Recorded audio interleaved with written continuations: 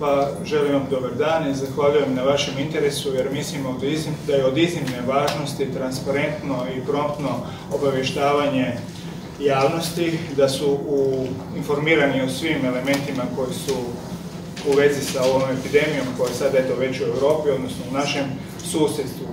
Stoga je vaša uloga vrlo važna i molim vas za suport i nadalje.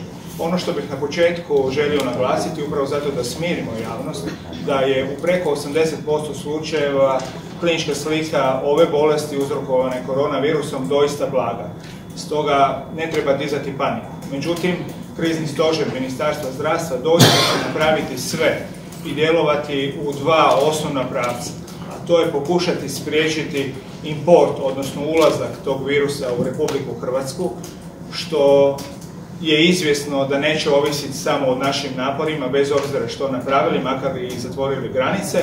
I drugo, kad se virus pojavi u Hrvatskoj, da na pravi način reagiramo, da izoliramo bolesnika, sve njegove kontakte i da na neki način ograničimo širenje. To su dva osnovna pravca u kojima djelujemo i na tragu tome su sastanci bili jučer i u vladi i jutrošnji sastanak ekspertne skupine kriznog stožera.